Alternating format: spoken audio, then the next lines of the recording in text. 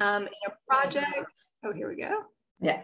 Okay, it. now now we're recording. Okay, great. So welcome everyone, whether you're here with us live or in the recording.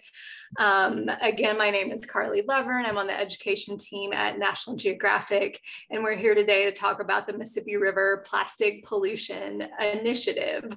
Um, so as you saw in the email, this is the first ever snapshot of plastic pollution along the river.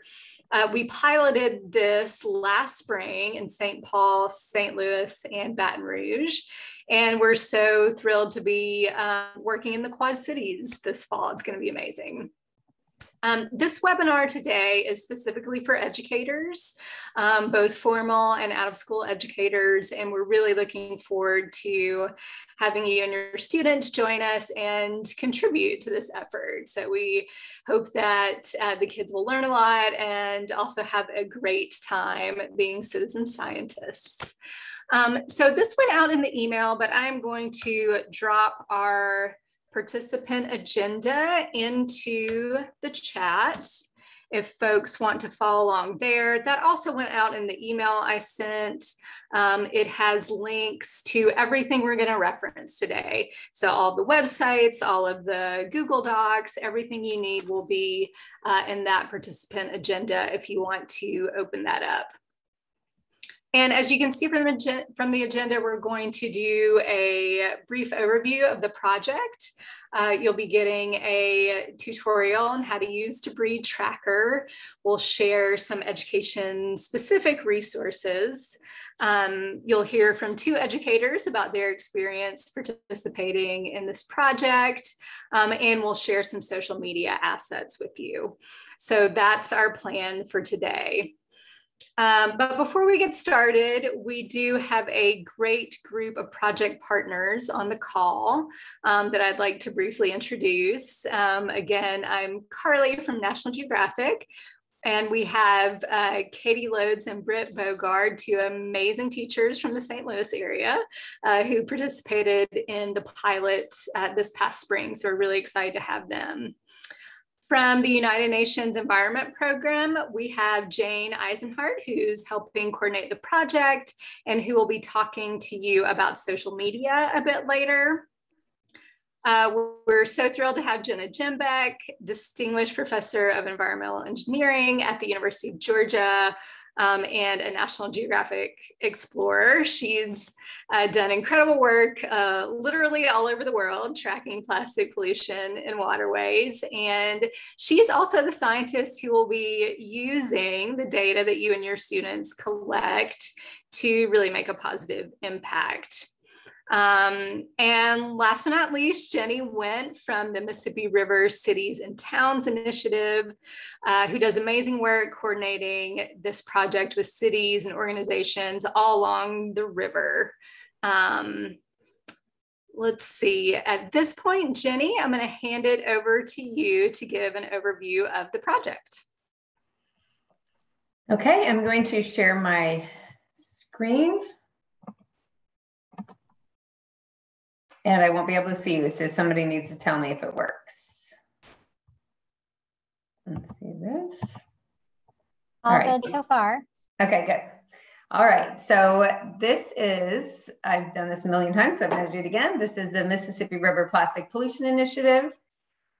I am, I work for MRCTI, Mississippi River Cities and Towns Initiative, and we are partnering with the University of Georgia, the UN Environment Program, and supported by National Geographic Society on this, uh, the image on your screen shows the Mississippi River watershed in the upper part of the hourglass. And as you can see, this watershed goes all the way from Montana, past Ohio, all the way down. Everything that hits the ground, every drop of water go ends up in the Mississippi River to the Gulf into the ocean. Unfortunately, so does a lot of plastic pollution because plastic pollution easily travels through storm drains and tributaries to the Mississippi River, out to the Gulf, and to the ocean. I think a lot of people think of ocean plastics as being a coastal problem or an ocean problem, but really here we are in the middle of the country and we're also can make an impact, good or bad, on the problem.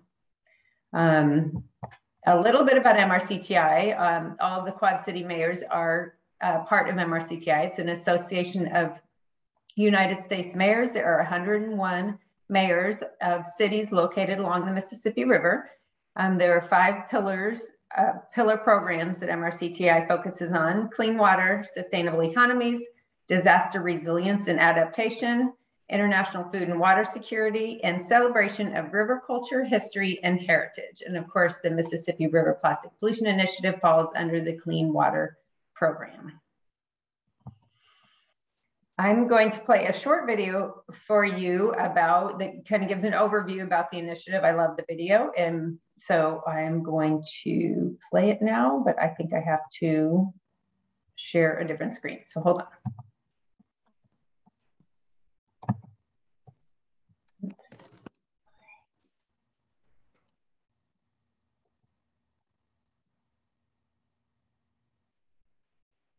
Where is it?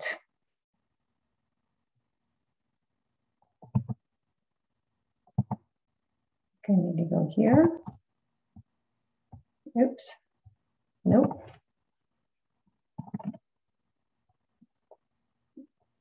Mm-hmm. Sorry about this. Thought I had it pulled up, apparently not. Okay.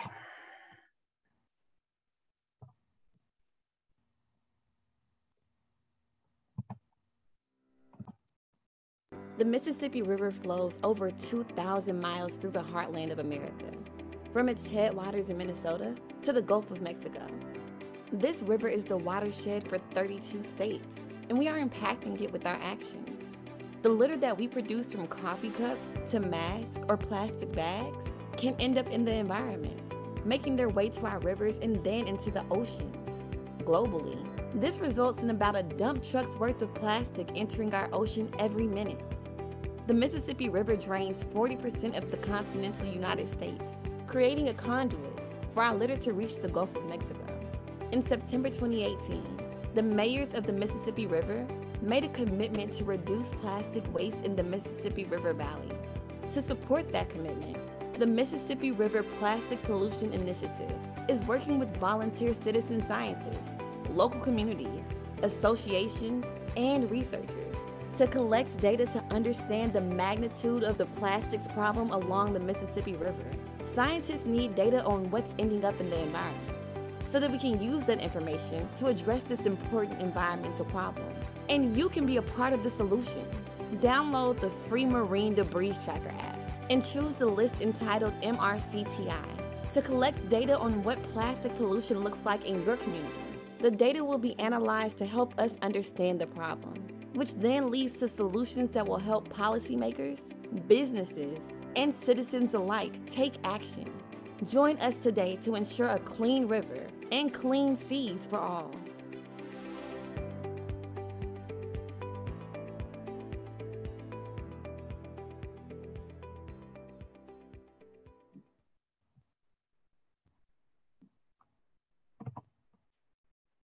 Okay, um, I'm going to share a couple more slides real quick, and then I will um,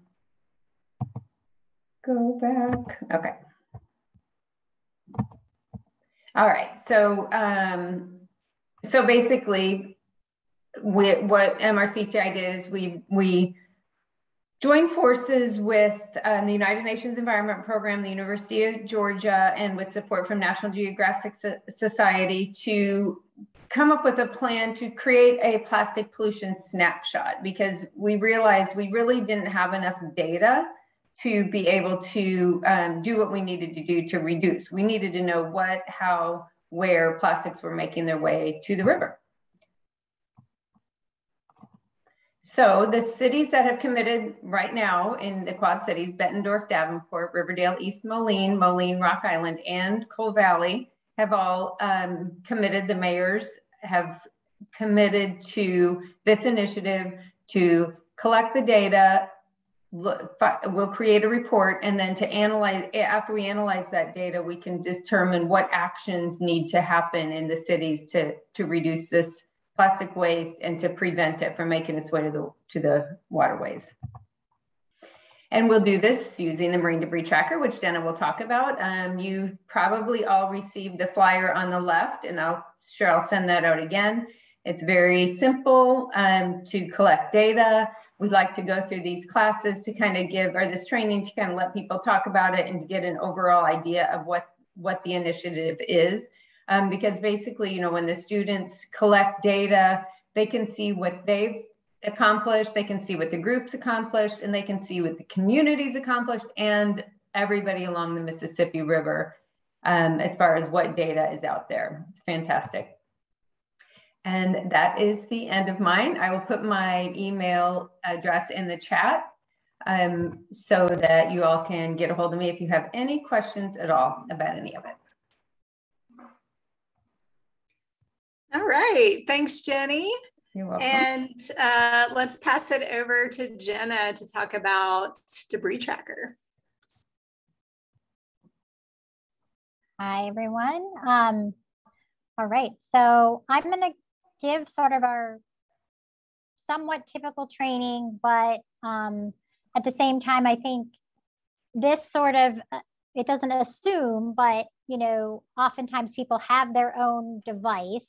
Um, but I know for students that may not be the case, or a teacher might be using one device for the whole class, and all that's fine. And I will talk about sort of those modifications um, as we go through the training. And uh, I'm sure Britt and Katie have a lot of insight to share. So um, first of all, we'll just talk about what is Debris Tracker. It's a mobile app for tool, how to use the app, um, the specific surveying protocols that we um, designed for the program. I, I'm also going to offer modifications. Um, I started feeling right now that I'm like, I don't know, I take online exercising and I was like, there's modifications. You can, all kinds of modifications you can do to the exercise. So that's pretty much what this is. It's like ways to modify the protocols. Um, and so those are number four. So other ways to also collect data. Okay. So what is Debris Tracker? Debris Tracker is actually 10 years old. It was originally developed here at the University of Georgia, funded by NOAA, our, our National Oceanic and Atmospheric Administration, uh, through a grant. Um, it's had some other partners since then, um, but most recently, I think National Geographic and um, Morgan Stanley as sort of an eternal funding partner. So that, well, eternal, I should say, longer term.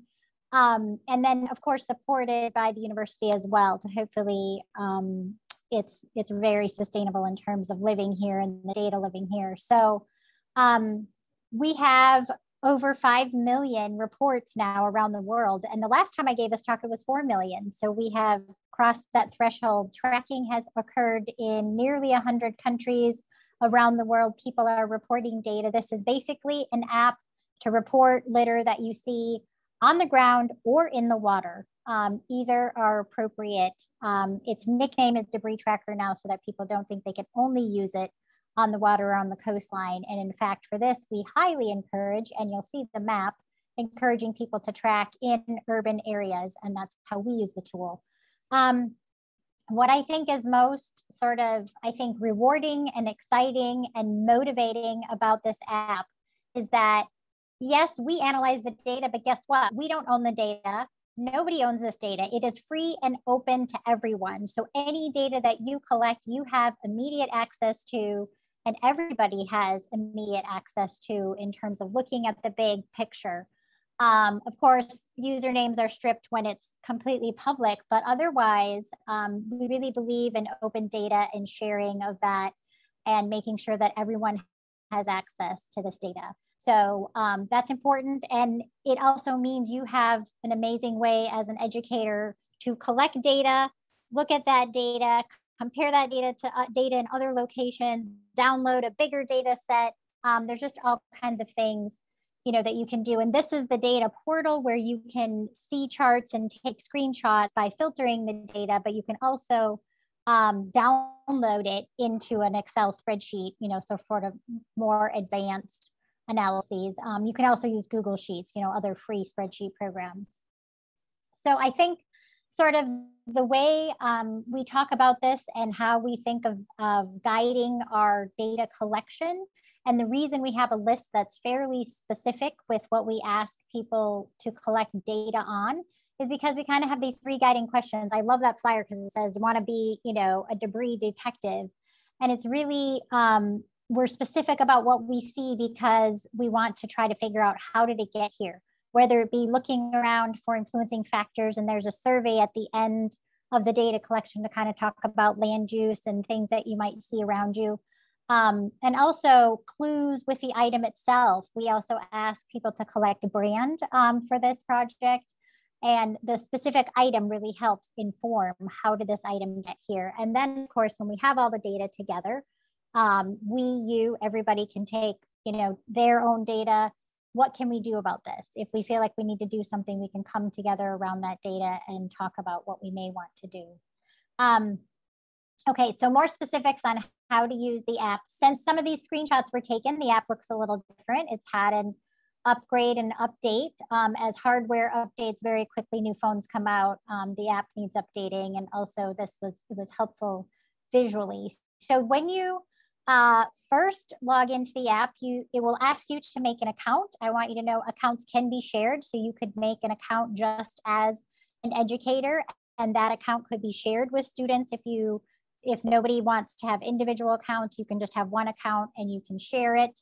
Um, the specific list you heard in the video is um, MRCTI, but it's actually called the Mississippi River Plastic Pollution Initiative. Now we're trying to uh, give it, you know, sort of the whole initiative name, but also says MRCTI. Um, so here you can see the name of the list right there. Um, so Catherine had been logged in right there, but here's the list of lists. So as you go back, um, you'll pick on this and then you'll pick this Mississippi River list and it will immediately show you the top trackers, um, which is quite amazing. So you can, you know, like some of your team members could um, get on this list at some point as well. Um, then it will go into, are you sure you want this list? You can say, yep. And then there you have sort of the, the nuts and bolts of the app and the list of all the items um, that we would like people to log um, if they see. And it also collapses into these categories. So um, if it is, you know, plastic, then you can kind of collapse all these and then you can open up plastic and just see plastic items. PPE is separate than that. So that's the personal protective equipment, um, masks, gloves, wipes, things like that are in that category. Um, we'll just see her go through. I'd like to pause this and kind of give an explanation. Well, there you go. She opened up PPE. Um, those are the items there. You just click on the item. Um, when you see it, you can search if you're looking for an item. So she was looking for bottle. So at the top, you can start typing in bottle and it will bring up everything that um, has bottle. There would be plastic beverage bottles, glass bottles. Um, and see right here, we ask for brand. So when you click on the item itself, it opens up this description box um, and you can type in the brand if you're able to identify that or can take the time to do that. If you're just adding it as is, you can hit this add button or you can hit plus or minus and this will count up. But let's say you have 100 cigarette butts. Um, sometimes there's a big pile of those. You can actually click on this number and type in um, the number of items that you see. So um, again, this brand box is actually free typing. So if there's anything else you want to note besides brand, you can type in there. Um, in the other category, we have you type in the um, the description of what it is. So if you ever log, so each category, so see she's showing in each one of those categories, there's an other item because we don't have every plastic item in the world there. We don't have every paper item in the world there. So if there's something that's not on the list, you go into other. And if you click on, again, click right there, it will open up a description box and you can type in what that other thing was. Um, again, if you can discern it. Um, pretty much everything, if you can tell what it was, we like you to log it as that item because that gives us those hints of how that item got there um, you know, why that item ended up there. So if it's a piece of a food wrapper, but you can tell it's a food wrapper, we have you log it as a food wrapper as opposed to um, a fragment of plastic. If it's a fragment that you can't tell what it was, then you log that as a fragment. Um, what she's logging right here is an accumulation area. If you had a blanket of trash on the ground, um, couldn't count all the items, you can estimate the size of this accumulation area um, and enter that and it enters a course. Every time you enter these, it automatically time, date, and GPS coordinates of these items. If you want to practice, um, go ahead and look for the test item and you can enter that, you know, wherever sitting at your desk or wherever you want to just kind of practice using the app. And if you submit those, obviously, we don't use those in the data analysis. Um, yeah, so then you can hit um, manage items and um, continue. So if you hit manage, you're able to look at the map of items that you've logged as well as click on individual items to delete them. Um, and so that's what she's doing right now. Clicked on manage items. And if you um, want to delete something, it will ask if you're sure so that you don't accidentally delete something. Um, and then you can go back to logging. You can go back to that screen and then you can continue and it will go to this small survey when you're done. So we're, I'll talk about the protocols in a minute, but typically people will be tracking for 30 minutes or so or whatever time you have to be able to give. And then you, um, you answer that little survey at the end of your tracking session. You can upload photos. That's what she's doing right now is adding a few photos. Um, we don't recommend doing lots of photos, maybe just if there's a specific strange item um, or maybe if there was a haul at the end you wanted to show. But it's, um, it takes time to upload those. And so we just, you know, just like if you're uploading lots of pictures to Facebook or something. So um, you can always, of course, take pictures on your phone and have them there.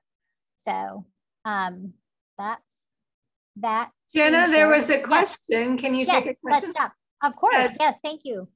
John, do you want to unmute and ask your question? Yeah, sure. So I think this is awesome. Uh, I, I love the the flexibility with that app. I'm just curious, do you guys ever use like a inventory checklist to try to like fill out as you go, but then go back into the app and fill it in so that we're not entering each individual one, but kind of like make tally marks or, I mean, I, I haven't pulled it up on my phone just yet, but I'm seeing it on your screen. It just, uh, for ease of use, is that something you guys do? Yep. Yeah, that is one of the modifications, John. So yes, yes, we do. And if that is the way you prefer to do things, you may absolutely do that.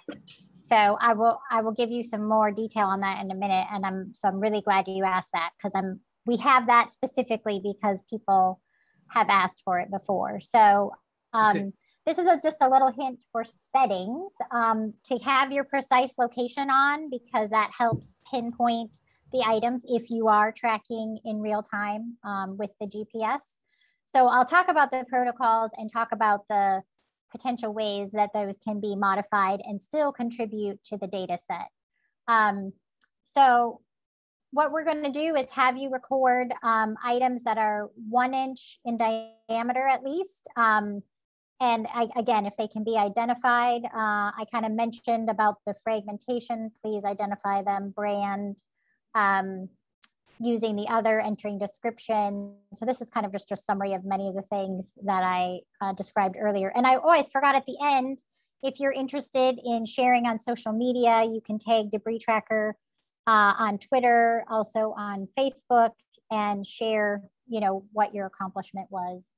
Um, okay, so the way we have outlined um, in terms of how where you go to track for sort of the official randomized transect is we have a grid across the sea and I will pull up the Quad Cities map. This is an example from St. Paul just to show you. Um, and basically this is a Google map, so it's not within the app. Um, that is something that I think has caused some confusion in the past, but this is a Google map that you could even go to before you even start tracking or do anything. You can play with this Google map um, in fact, well, no, I'll show it at the end. I'll show you the quad cities and we can look at it. And you can figure out where you want to go. You can even pick an address, pick one of these squares, and then, you know, before you even leave home, you can, of course, also open this Google map on your phone and navigate in the field. But I think that got confusing for some people who thought this map was in the app, which is not.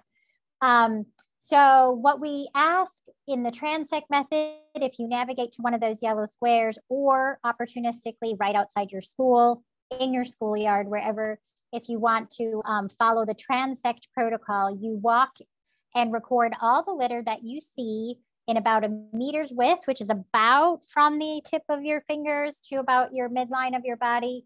Um, and we ask to try to go for half an hour. Again, a modification would be go for a shorter time. You know, whatever whatever fits. My son has a 20 minute recess. If they were going to do this over recess, they might be able to go for 10 minutes. That's fine. Um, and also, if the kids just want to spread out across, you know, school grounds in a different way, that works. But the protocol for the randomized transects is a meter wide and walking for 30 minutes. Um, and so from here, we also have an opportunity for people to collect data on floating debris. So this was kind of really interesting the first time you stand either on a bridge or um, safely on the riverbank. Again, I want to stress um, actually, you know, showing those pictures before in terms of the transects, you know, they're walking pathways. Um, the survey at the end says, you know, did you log along the side of the road, along a gutter, a curb, sidewalk, and safety first. Do not do anything ever that is not safe for any reason. That comes first by far. Um, but if you want to collect floating debris, you stare at a location in the river, the same location, and count anything that passes by for 15 minutes. Um, and again, the survey at the end clarifies what activity you just did. Okay, so getting uh, to John's question and other ways you can modify.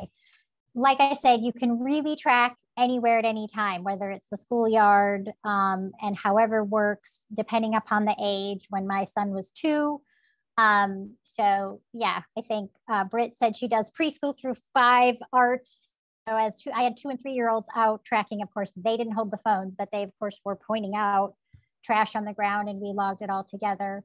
Um, very different than you know fifth and sixth graders or high schoolers that go out, but anything that's convenient. All of this data is helpful to the project and will feed into it in terms of top items, what people are finding, what people are concerned about. Um, we do recommend if you do the transects, it's, it's easiest to do that in pairs. So if you think about doing a cleanup, um, which oftentimes people want to clean up as well um, when they're doing these transects, one person picking up the material and one person tracking works quite well. Um, and also somebody can be kind of eyes watching because as you are tracking, you're often looking at your phone. Um, but another way, so I think, John, this is what you're talking about. You can do an aggregated tracking on location. Well, this is not exactly what you're talking about. Uh, yours is the next one. But this modification is if everybody wants to clean up first and just put it in one location, and then you sit in that location and enter the data just realize if you use the app, what it will look like is all of those items are in that exact location. That's fine. It's not a transect. The data will be used, it will be entered, but it will appear as, as if it's just in one location if you aggregate it all and then enter it. Um, that happens. And a lot of people, like this is a small island off Miami, they did a big cleanup, sorted it all, and entered it all in one location.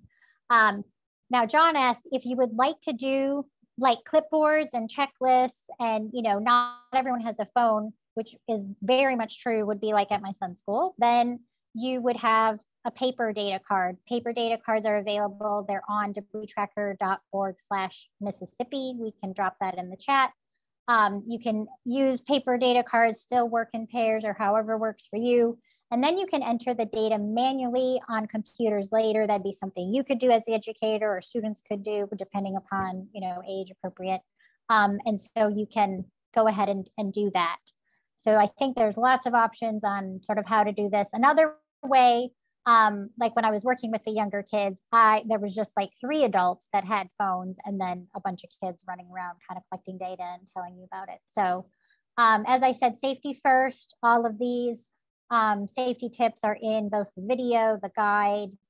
Here we go over them. Um, they have been made since COVID, so it talks a lot about sanitation and not touching your face, um, not picking up anything hazardous, that kind of thing. But we don't tell anyone that they have to pick up at all. That is 100% personal choice. Um, it does not be participate in the research. You do not have to actually pick up the litter because that's um, but we did have the survey and 83% pe of people did pick up the litter last time. So my last part, um, thank you for bearing with me, is to share the, um, the map.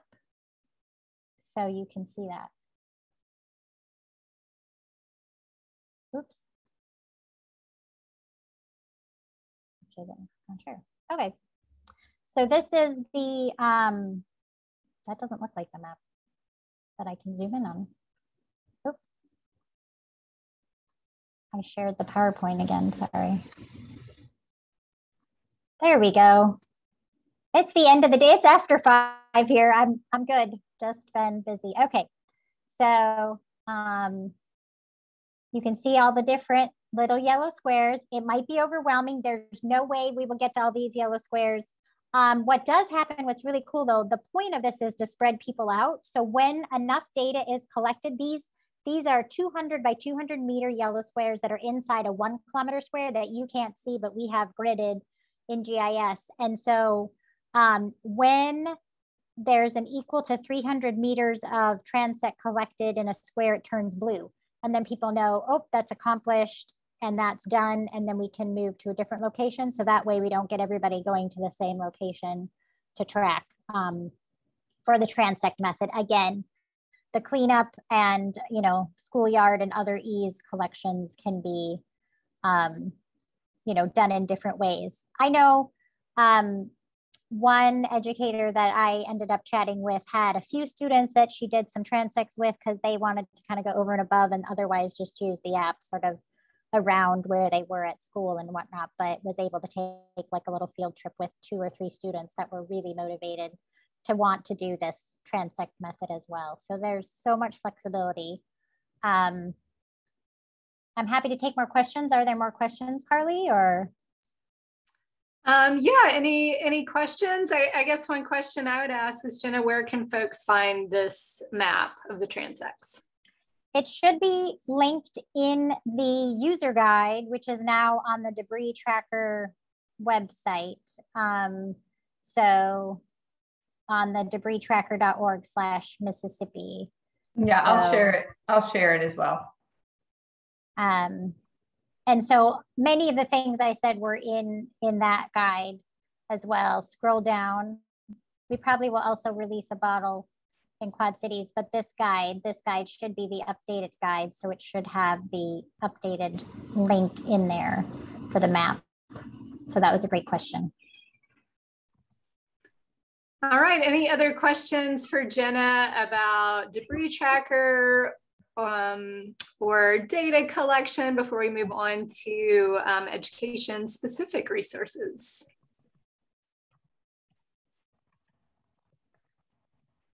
Perfect.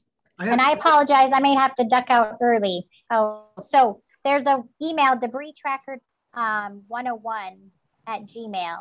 Um, but sorry, John, were you going to say something? Just yeah, real quick. Um, and I'm, i apologize. I, I'm assuming you covered this, but so within each plot, right there are a number of transects. Is that something the app is going to identify where you are within that uh, larger zone?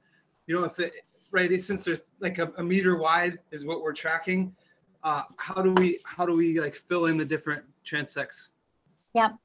So it's not within the app. Um, we're not we're not advanced to that stage yet. I would i would love that because that's what a lot of people are thinking now. Oh yes i can open the app and it's the one-stop shop but it's in google maps. So that's why we said you could open up that map before and kind of locate where you want to go if you want to try to go to some of those yellow squares um, but in the and then you just can get an address from there, or you can open that map in Google Maps.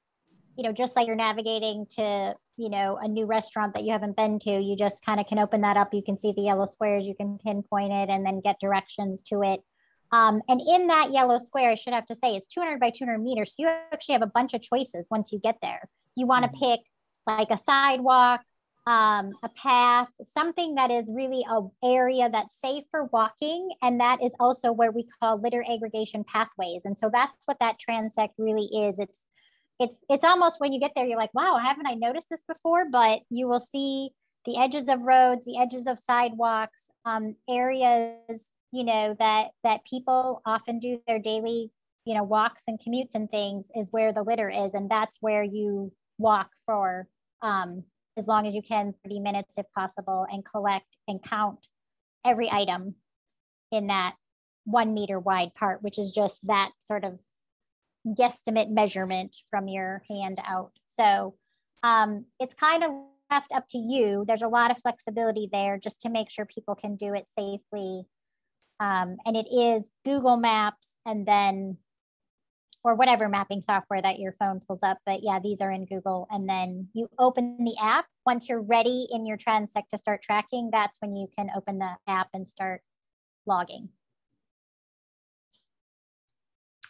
All right, great question. Any other questions for Jenna?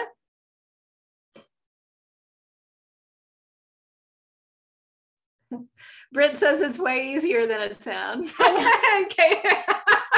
oh, it kind of is simple, but then when you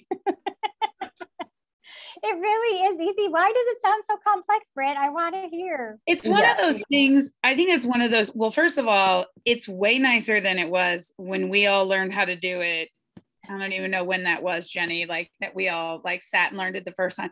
The app is like drastically easier than it even was in the beginning. It was really clunky in the beginning and now it's much more user friendly.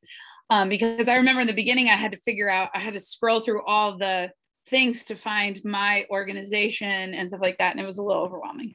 Um, so the new one is really user friendly. And I really like that there's pictures now with it. Um, but it's one of those things where you have to just play with it to really figure it out and like you know you just play with it and then you get it and then you go to the website version of it and you're like whoa it's even nicer because i'm just used to it on my app and then um so you know i just found that as i tinkered with it i also found that kids knew how to use it way better than i did so if you just they give it to just give it to a 10 to 17 year old and you're fine. You don't even have to know how to use it because they will. I love that. That is so true. The other thing that you'll like, Britt, is there's a favorites now. So the you can star the items that you most commonly see. And I forgot to to um, say that when I was talking it through it, but yeah. So like food, I mean, number one items or top five: food wrappers, beverage bottles, cigarette butts, um, you know, sometimes cups are in there, so various things, but you can star a few of those and they're right at the top and they're like what you commonly see. And then you can kind of look at the other things in the nested list. But yeah, I love the kids lead the way. 100%. Absolutely. Um, all right. So thanks guys. And, and, you know, Quad City educators, you are benefiting from, uh, you know the the first pilot educators and what they learned and um, you'll contribute as this thing grows so um, hopefully not only will this be a great thing for you and your students but then you'll be contributing to the project um, as it builds um, so Let's move now to thinking about um, how you sort of translate this project into learning uh, for your students. So I'm going to go just real briefly over a few education resources we have for you. Um, there are three main links. They're all in your participant agenda. Um, first, I'm going to go through um, some of the resources we have from National Geographic, and I'll that's in your participant agenda, and I'll also post it um, here in the chat. Um, so if you want to open that up, and as Jenna mentioned, National Geographic is one of the supporters of Debris Tracker. So on our education uh, site, we have a lot of supporting materials um, to help with the use of Debris Tracker.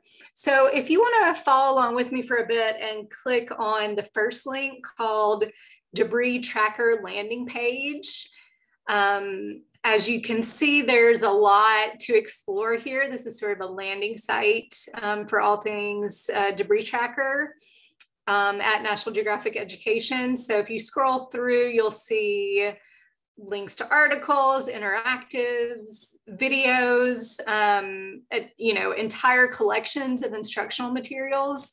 So we won't have time to go through all of that, of course, but if you want to spend some time to sort of exploring this landing page um, and the resources that are there. Um, if you head back to the resources doc, you'll see there are a few other links in that debris tracker section that we wanted to highlight, especially the Plastic Pollution Action Journal. So that's a really popular one with students that um, you might find useful. Um, the next section there is just sort of a hodgepodge of uh, educational resources, activities, um, assets that might be useful for you. They're mostly related to uh, either the Mississippi River in particular or rivers and watersheds in general. And I will note that the National Geographic Resource Library is very large and has lots of assets. So if there's something in particular that you're looking for, um, you can do a keyword search into the resource library and see um, if we have something for you there. So the next link um, on the participant agenda is UNEP's Clean Seas resources. And there you'll find um, education packs and other resources around plastics that might be useful to you as you're planning.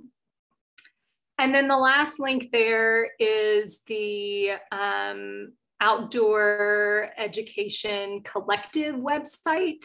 So this is a site run by teachers and you'll see there's lots of resources on how to use the outdoors as a learning space, um, lots of videos, lesson plans, activities on um, on outdoor education. So that might be useful to you uh, as well and could at least help jog your thinking as you're thinking about how to integrate this project into uh, your students' learning.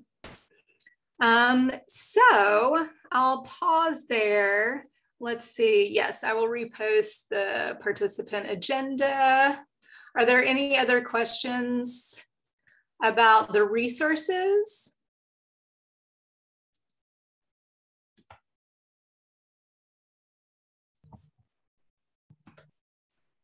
I think we're good. Thank you, Carly. All I was right. looking for it. I to yeah. try to get that agenda on there. Yeah. Sometimes it's hard with all the tabs to find right. it. Exactly.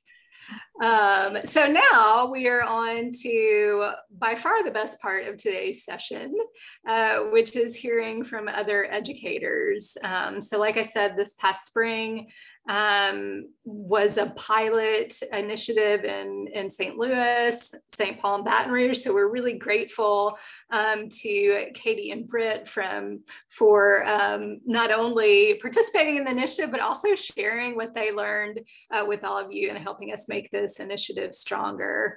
Um, so Katie and Britt both integrated this project into the, their students' learning. They're going to tell us about their experiences. So, Katie, I will turn it over to you first. Awesome. Thank you, Carly. Uh, first off, reiterate what Brett said. Um, anybody out there, it is much simpler than it may sound. Um, I know that when I first started thinking about the project, I think I found out about it in March. Um, and I teach high school at St. Joseph Academy. I was nervous about like, how is this going to work? Are we going to do it right? Like, what if our data's not good?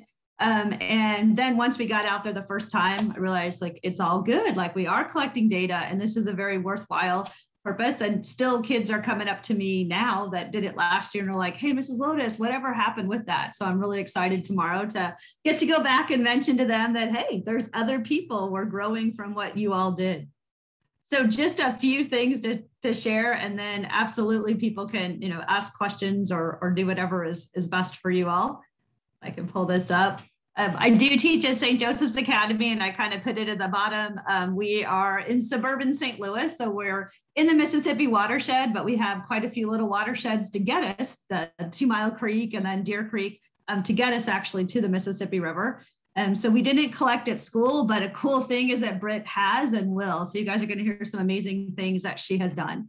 And we use this as um, it wasn't actually used in class last year. Um, use it. I'm the Earth Angels moderator, so like our environmental club, and then our science club, Beta Chi Pi, also jumped on. And then we have a group of students that are in global education. So we kind of open it up to lots of different folks um, to do this. We wanted to go out three times in April. We ended up going out two, but that was that was okay too. So the first, um, we picked two different locations. So um, John, I know you had mentioned like, how do you find it? Um, we went ahead of time. So we kind of planned because it is student drivers um, and we did this outside of school. So we did this on the weekends. Um, they had to have permission slips and all that good stuff. Um, so we picked first a, a, pretty trendy neighborhood in St. Louis. So if anybody wants to come down and visit, Lafayette Square's got some great food. Um, and pretty cool area to be in. It has a park in the middle of it and then um, a lot of housing, but then kind of outside of it is more, um, I would say, open for development type areas. So it was just a group of a few students that decided to come down. Um, so these are the students we're looking at, and we kind of went off in two directions. So found out, as Britt said, they know what they're doing way more than we do. you know, that there were two teachers with me and we're like trying to put the data in. And finally, we're like, what are we even doing? Let's just enjoy and take pictures of them because they're doing all the good stuff. So they could be on the phone, get their data uploaded in no time at all. And we did use one um, one username. So we kind of did that at a school to kind of keep all the data together so we could look at it. So they just logged on as, as our school data name that we looked at. Um, but again, from the park, you know, picked up some pretty amazing things or interesting things.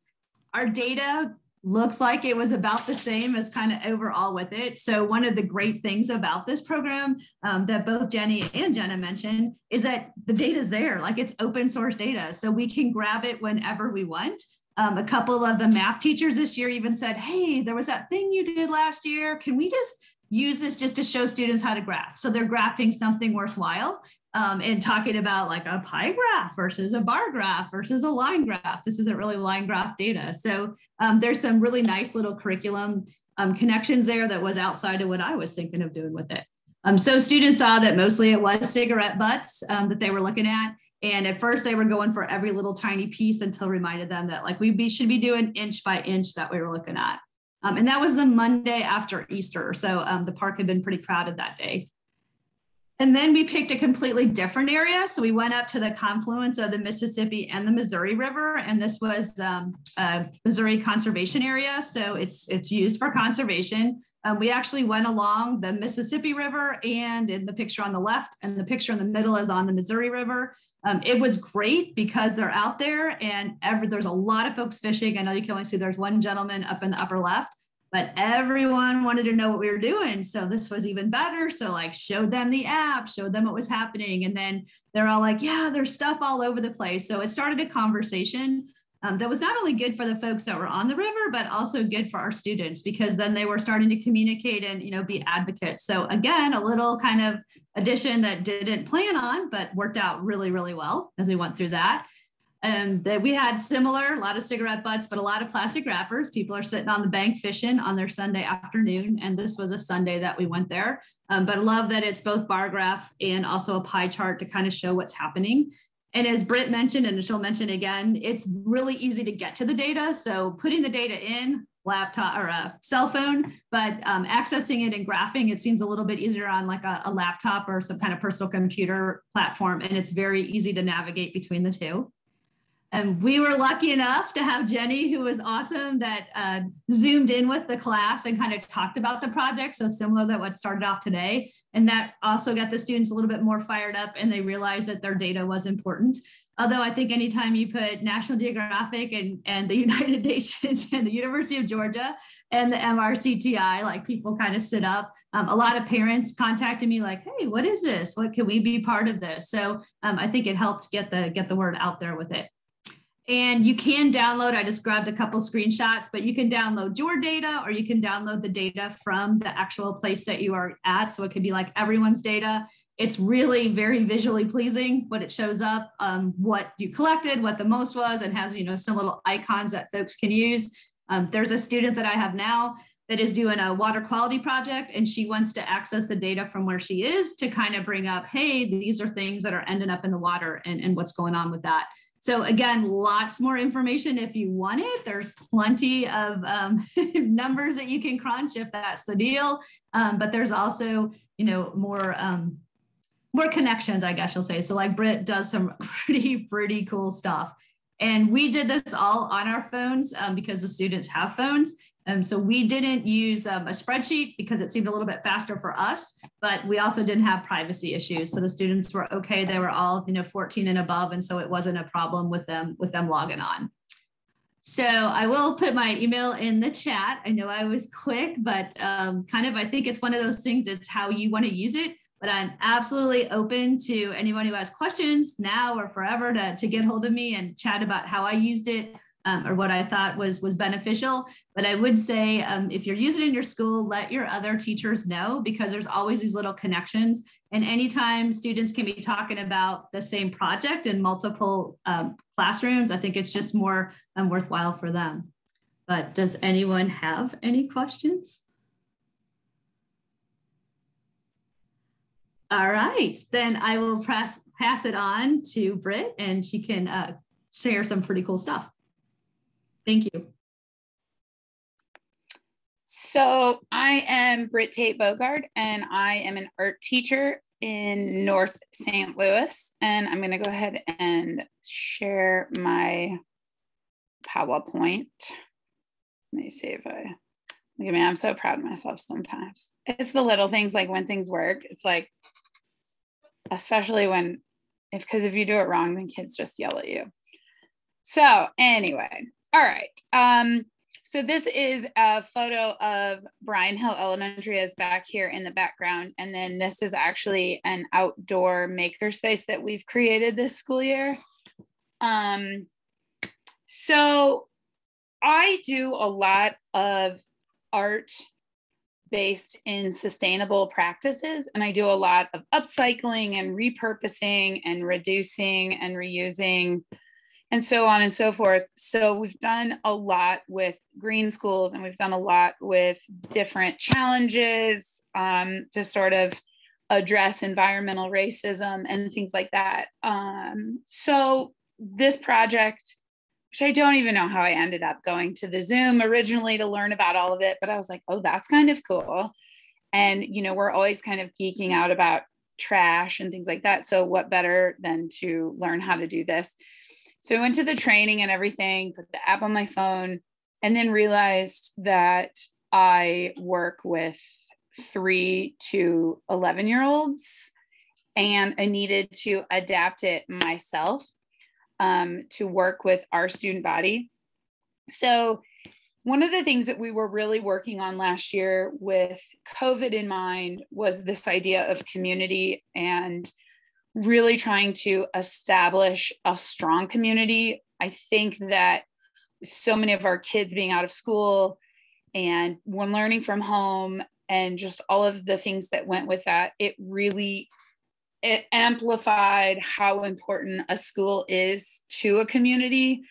And we also have recently been going through school closings and things like that. And so this this sense of community was really big. And um, we were really trying to link kids more to their actual neighborhood and community. So my students all live for the most part in the College Hill neighborhood in North St. Louis. And so this was a really great way for them to track things and to help make them more visually aware of trash that they see. I think a lot of times they've gotten so used to it just being there that this really forced them to stop and look about what was there. Um, and and it really also helped quantify. So Miss Tate can stand there and tell you like how messy the world is, but until you really are looking at it and seeing it for yourself you know i mean you, you just you don't really think about it and i do i think that these kids are very much just used to seeing it everywhere um, we actually in the city right now are having a massive issue with trash because we're very very short-handed on um, garbage truck drivers and this that and the other and all of our city amenities. And so dumpsters aren't getting picked up as often and we don't really have a lot of trash cans in north city. And so debris just blows everywhere and we don't have trees. So there's nothing to even slow down the wind so this just was like so timely in so many ways um, so we had to get we had to get creative and come up with a way of tracking this for kids um, because at the beginning the tracker looked a little different than it does now. Um, and so when I started, the tracker changed in about the middle of when I was tracking. Um, and so the other thing that we really did is across the street from my school was this vacant lot that the city owned. and we were all forced to go back into the schools and you know everyone was like well it'd be fine because you just use your outdoor learning space. And i was like there's no outdoor learning space at my school. There's a blacktop with playground equipment that we're not even allowed to use. So we noticed that there was this vacant lot um, so we started cleaning it up we started mowing it we started picking up trash and then up in the corner you will see a drone photo of what we have built over there. It is now um, five different outdoor classrooms with nine garden beds. There's a stage, a puppet stage. Um, these multi, these little round tires, um, colorful tires are actually little seats, and there's a little um, free little library. There's a giant geodesic dome because um, the Botanical Gardens has been a huge partner with us.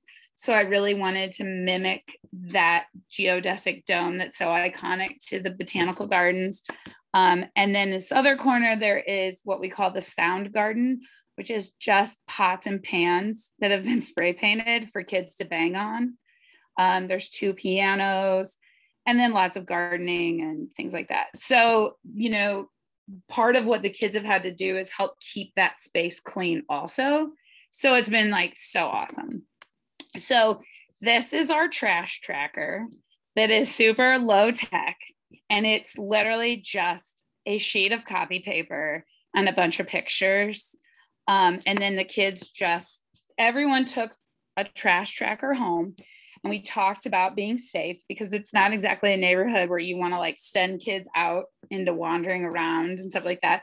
So we were like, track while you're standing and waiting for the school bus, track while you're walking to and from the school bus. Or if you're a kid who walks to and from school, just kind of track as you're walking to and from school. So kids took home the trash tracker and then they filled it out and and I would either let them you know sometimes I would just be like we'll bring it back tomorrow. And then there's other times I was like oh keep it for a week or take it home over the weekend and things like that. So I got it I got back all different kinds of tracker. But this was a way that my students of all ages could see culturally relevant and reflective like images um, so that even if they couldn't read like the word liquor bottle bottle like they know what that bottle is and same with lids cigarette butts and things like that so i just really needed to keep it um, keep it keep it real for my students. Um, and then occasionally we would take walks, and um, our fifth graders tracked tr- all trash that we picked up from the outdoor learning space. So I mean, it was really cool, and and like this tracker is not fancy at all, but it totally worked. And you know, the kids there was no question about what they were tracking. And I told them if they saw other weird things to just write it on the back or draw a picture of it on the back because the tracker has so many things that I just was like, these are the big ones.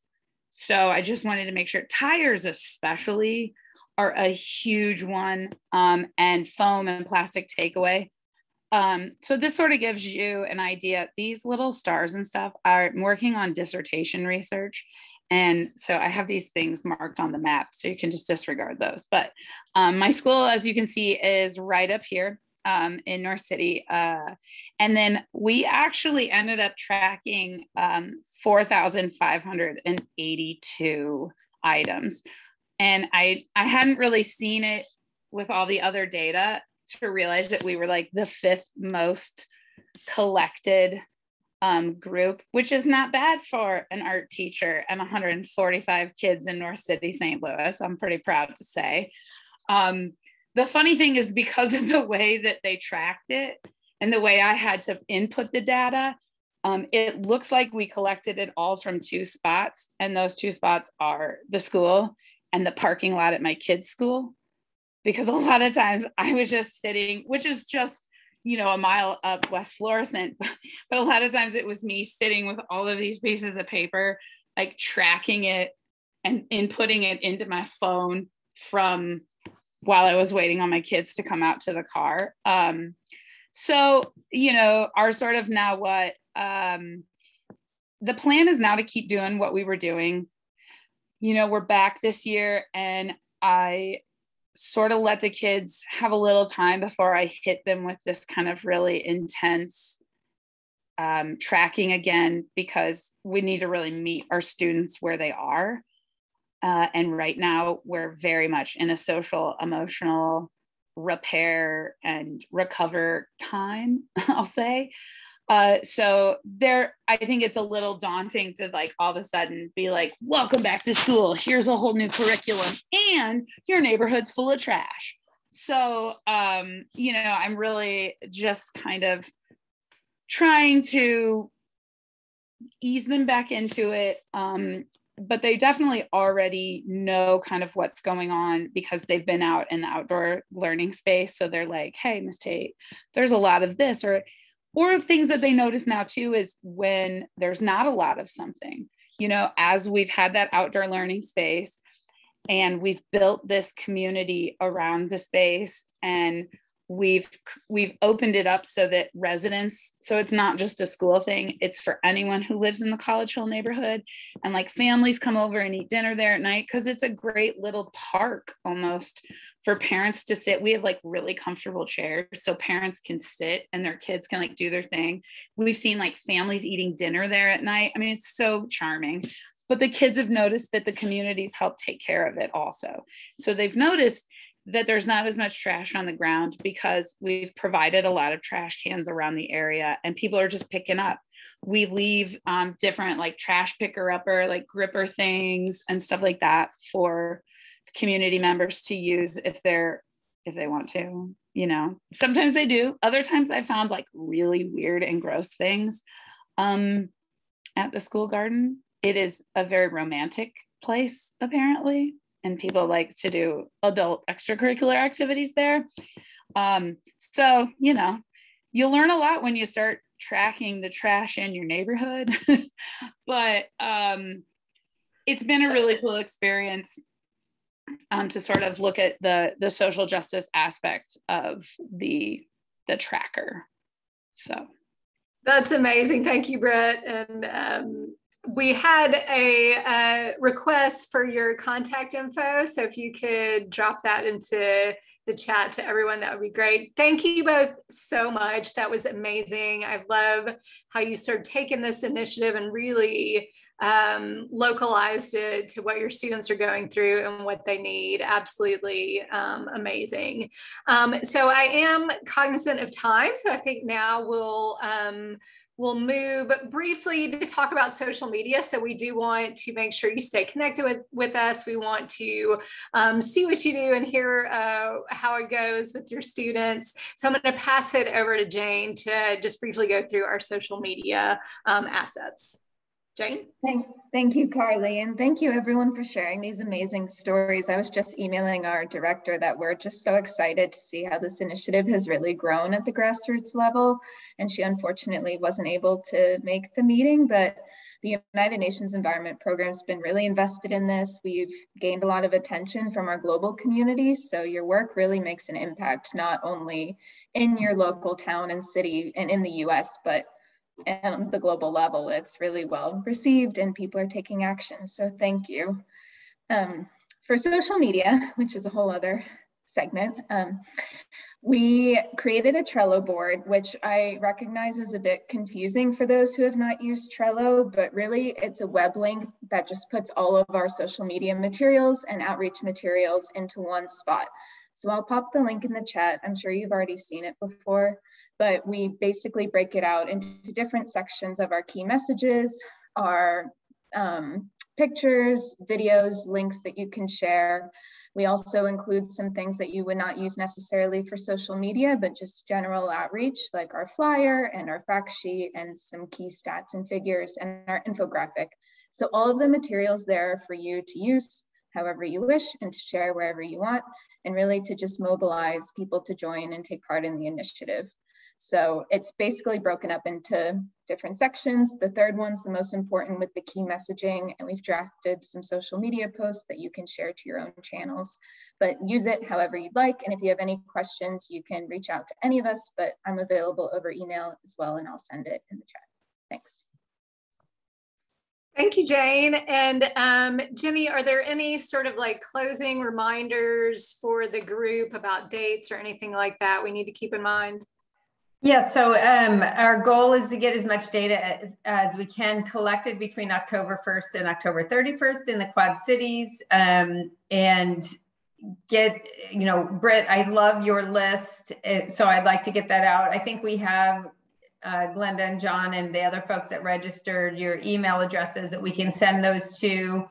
And I'll copy the folks on this call on that email so that you can reach out to anybody on here. Um, it's just a great opportunity to get the kids out to show they can see what they do, they can see what their group is doing, what the community is doing, what the St. Louis area or Quad Cities area is doing, and then build and build and build. And it's it's really great and that awareness factor like you said i mean even when i i've always been in this field but even when i started doing the tracker when i walk around i notice things uh, now you know and what are the most common things and that's the that's very critical but i want to see john and glenda do you have any questions concerns um any do you need anything from us at this point no, this is Glenda Gusta. Hey, it's great. I, I, really enjoyed. And I'm glad to be a part of this. This is something new that our uh, NAACP uh, group has started here locally with the environmental group. So I've been trying to get as much as I can,